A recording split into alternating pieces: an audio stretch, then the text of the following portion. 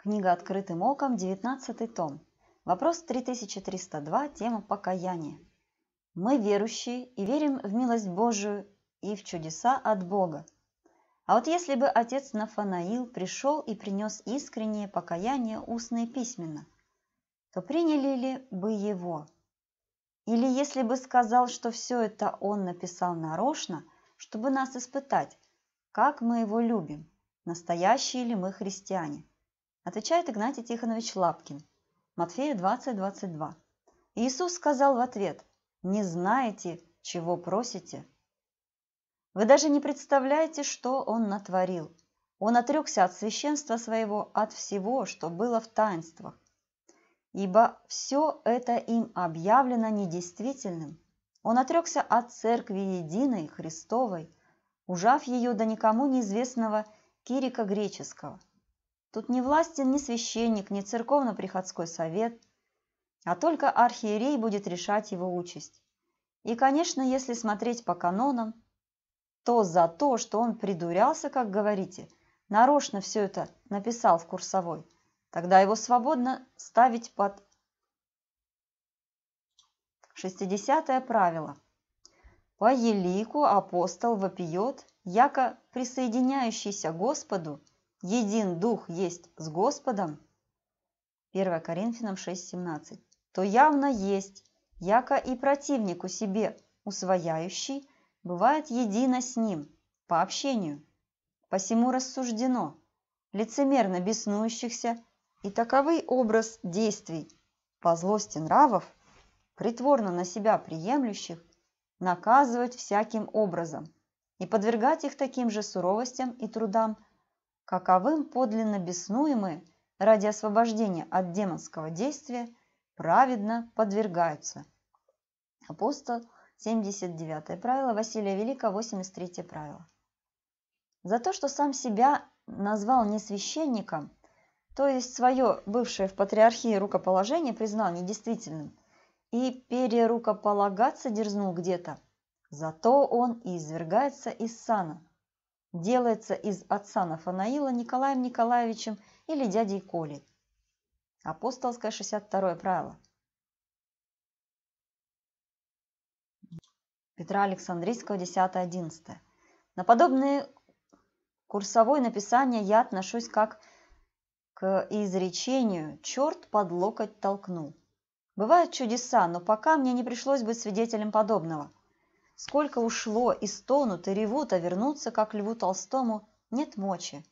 Те, кто взялся утверждать, есть ли благодать в патриархии или в иной церкви, где сохранилось преемственно законное рукоположение от апостолов Христовых, все пишут на волнах бурных. Стоит только сегодня умереть, и что тогда? Каноны с собой не потащишь, а уж судить-то Бог будет очень строго. Именно по словам Христовым которые мы нигде не обретаем в чистом виде, как только в Евангелии. Иоанна 12:48. Отвергающий меня и не принимающий слов моих, имеет судью себе. Слово, которое я говорил, оно будет судить его в последний день. Представим, что все стоят на суде страшном, и придется за каждое слово отвечать сполна. Римлянам 14:10. А ты что, осуждаешь брата твоего? Или и ты, что унижаешь брата твоего? Все мы предстанем на суд Христов. Допустим, один человек не дерзал решать, где нет благодати, так как о том в Евангелии ни слова. С него и не спросится о том, ибо о, ибо о том он молчал. Матфея 12:36. Говорю же вам, что за всякое праздное слово, какое скажут люди, дадут они ответ в день суда а решать о невидимом, о благодати, самом неприступном для зрения, за это безумие как ответим? Другой решал, ссылаясь на мнение пусть даже канонизированного человека. Но что, тут, но что тот имел в виду? Как изменилась обстановка? Этого никогда не свести. Да и как по одному-трем решать обо всех? Патриархи сегодня, сегодня 170 архиереев – 130 епархиях. Но кто участвует в Совете Нечестивых, в экуменизме? От силы 10, А из священников в 27 тысячах приходах кто экуменист? Где и с кем молится? Это же только разговор. Я ни одного не знаю, кто бы молился с еретиками. Всемирный совет церквей никакой роли нигде не играет, а так пустозвонят и дразнят дураков-гусей. На бытовом уровне домашний экуменизм у подавляющего большинства христиан и не трубят о том. А вот тут мы уже вольны поступить точно по Слову Божию не участвовать с родными и близкими в негодных делах, совсем с нехристианами. Не обещано Богом, что по канонам нас судить будут на суде Божьем. Так что нужно быть предельно осторожным. Не каждому Кирику верить. Не за календарь, не за двуперстие бороться, а за Слово Божие. Жить по священному Писанию. 1 Коринфянам 4.5.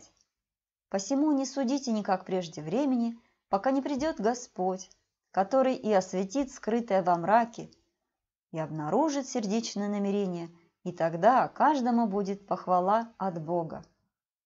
Да и зачем Николаю проситься к нам, если наше устройство его на, ему на дух не нужно было?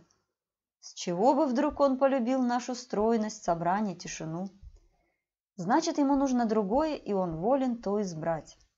Но я не верю, что он найдет покой душе там сузив любовь Божию до одного несчастного Кирика, он же этим не Бога прославляет, а свою узость и нетерпимость. А это уже сектантское мышление. Иеремия 2.24.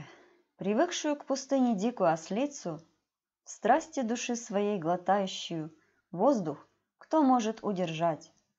Премудрости Соломона 12.15. Будучи праведен, ты всем управляешь праведно, почитая несвойственным твоей силе осудить того, кто не заслуживает наказания. Матфея 12:7. Если бы вы знали, что значит «милости хочу, а не жертвы», то не осудили бы невиновных. Римлянам 2.27. И необрезанный по природе исполняющий закон не осудит ли тебя, преступника закона, при писании и обрезании? Скончался мой друг, но лишь тело. Истлело, как рябь на воде, Лишь куртка его опустела, Обвиснув на ржавом гвозде. Лишь речи затихли хоть мало, Тревожили воздух они. Земля же просторнее стала Всего только на две ступни. Но как велико его место! Во мне, это знаю лишь я. Как сердцу безвыходно, тесно, Как сдавлена память моя. Давид Кугультинов